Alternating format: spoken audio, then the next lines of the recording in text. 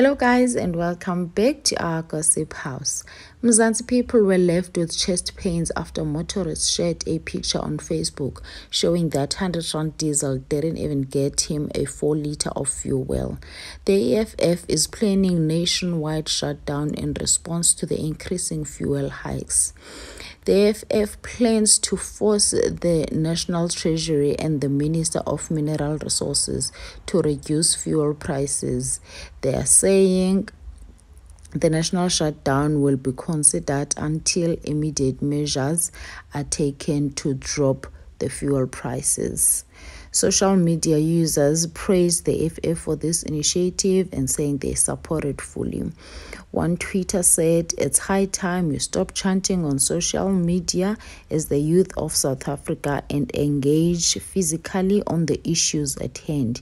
We've been preaching the national shutdown for a while now and nothing has actually happened. This is our country, our future, our children's future. So, according to some tweets, the date for the national shutdown is set for the 10th June, which is this month. I, for one, fully support this initiative and hope and pray that it will yield positive results and it will happen because clearly interests of the poor and struggling South Africans are not considered. I hope you guys enjoyed watching this video and please don't forget to subscribe and hit the notification bell to hear more news. Bye loves.